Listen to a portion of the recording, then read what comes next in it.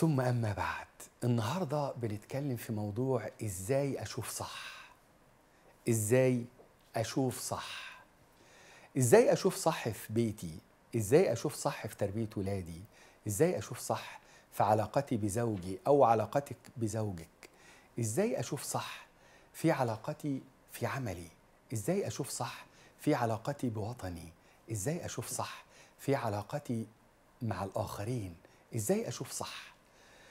في البداية لازم نعرف إن إن إحنا ربنا تبارك وتعالى خلقنا في أحسن تقويم. لقد خلقنا الإنسان في أحسن تقويم.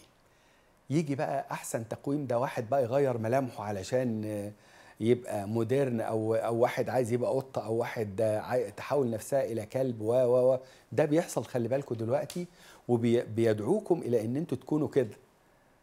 الشيطان قال لربنا تبارك وتعالى فلآمرنهم فلا يغيرن خلق الله. هو قال قال كده في سورة النساء قال ذلك لرب العزة تبارك وتعالى. في بقى اللي بيسمعوا كلام بيسمع كلام الشيطان وفي اللي بيسمع كلام الرحمن. طيب إحنا لما إزاي أشوف يعني صح؟ إزاي حياتي أشوفها صح؟ أنا مش عايز أتخبط مفيش راجل عايز يتخبط ولا في زوجة عايزة تتخبط ولا في ولاد عايزين يتخبطوا. ومحدش عايز الحياة غير الحياة المستقرة الحالمة الجميلة الهادئة اللي فيها السعادة وفيها الهناء وفيها السرور.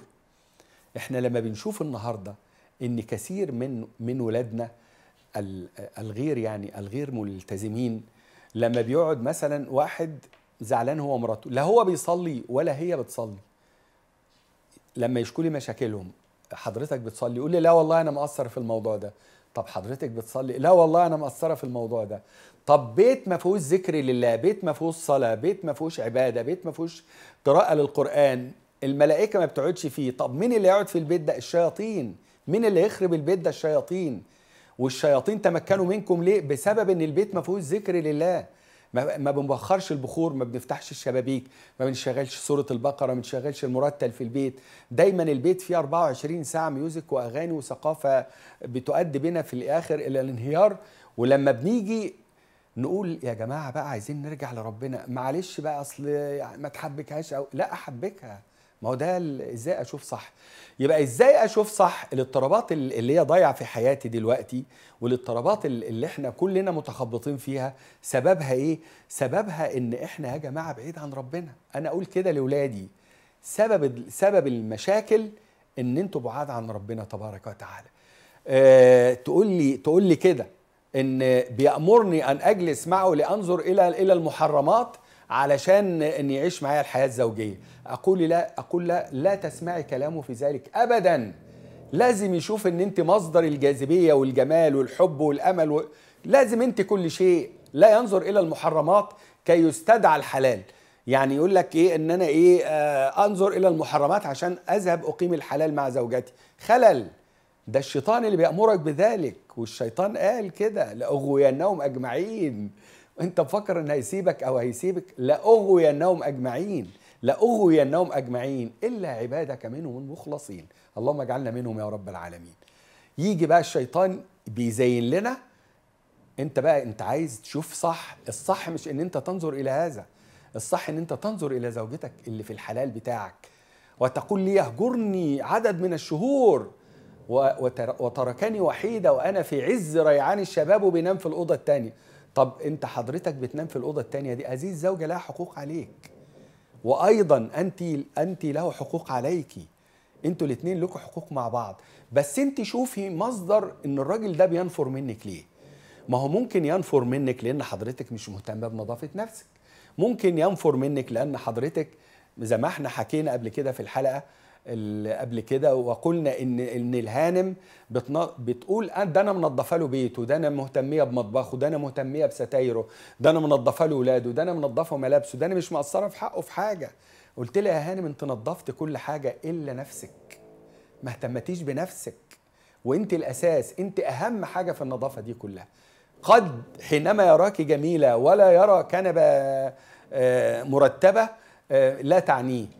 حينما يراك جميلة ولا يرى ستاره م- يعني منظمة لا تعنيه. أنت أهم حاجة أنت جمالك رونقك روعتك وال- واللي حباكي بيه ربك مش أنت اللي مش أنت اللي جايبة ده من عند نفسك ده ربنا اللي بعتهولك جمالك ده ربنا اللي بعتهولك مفيش حاجة اسمها البيضة أجمل من السمرة والسمرة مش عارفة إيه اطلاقا اطلاقا. ده في ده ده ده السمر دول نعمة من عند ربنا تبارك وتعالى. نعمة وأنا اعي ما أقول نعمة. ربنا يحفظهم من كل مكروه وسوء يا رب العالمين. والبيض برضه علشان ما حدش يزعل. خدت بال حضراتكم. فلما نيجي نشوف بقى إزاي أشوف صح إزاي أشوف صح إن إن حضرتك تهتم بنفسك رقم واحد وبعد كده تهتم بالبيت ومن الاهتمام بالنفس الاهتمام باللسان. إن مثلا أنا الراجل يبقى راجع تعبان. وراجع تعبان ومجهد بيبقى كل أمله في الحياة إن ياخد شاور ويستجم قليلا. فمجرد ما يدخل البيت الهانم قاعدة بقى في البيت مع العيال والأولاد ربنا يبارك في عمرهم يا رب العالمين. يعني آه، مضبطين الأم جري و... وهي طول النهار جالسه تزعق. لما جاء الزوج ما فصلتش. مصرة إن هي تمشي في تراك الزعيق. مصرة إن هي تمشي في نفس الطريق. يا هانم الراجل ده دخل وله خصوصية. اعملي له حال من البيت الهادئ. قولي للأولاد بس عشان بابا بابا راجع من الشغل دلوقتي تعبان لازم نهدى عليه خالص.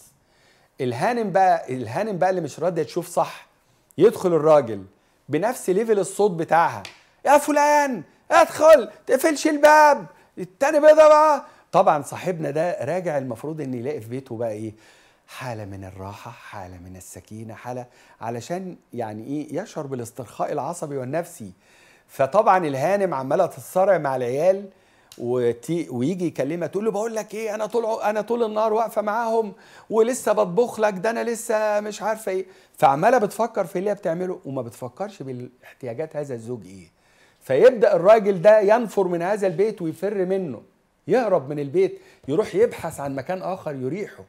يجي واحد يقول لي طب كان بيخلف ليه؟ بخلف عشان الأم لما تربي ولادها. والله العظيم أمي كانت بتعمل كده.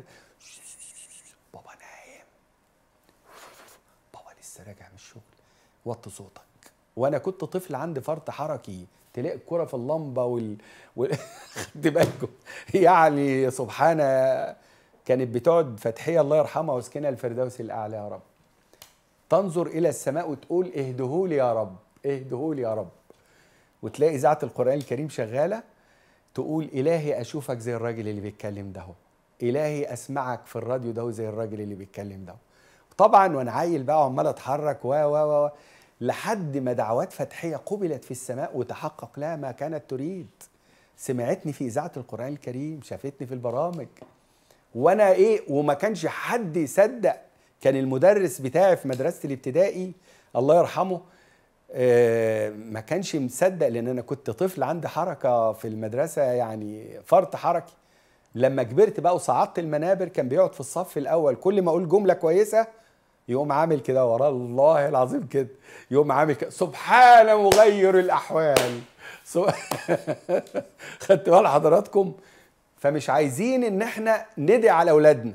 بيعملوا فرط حركة في البيت وبيعملوا كل ما تدعيش اوعي تدعي. اللهم اهديك يا حبيب قلب ماما. ربنا يخليك يا حبيب قلب ماما. وبعدين وطي صوتك علشان أنا هجيب لك شوكولاتة. لو أنت معلش صوتك أنا هجيب لك شوكولاتة.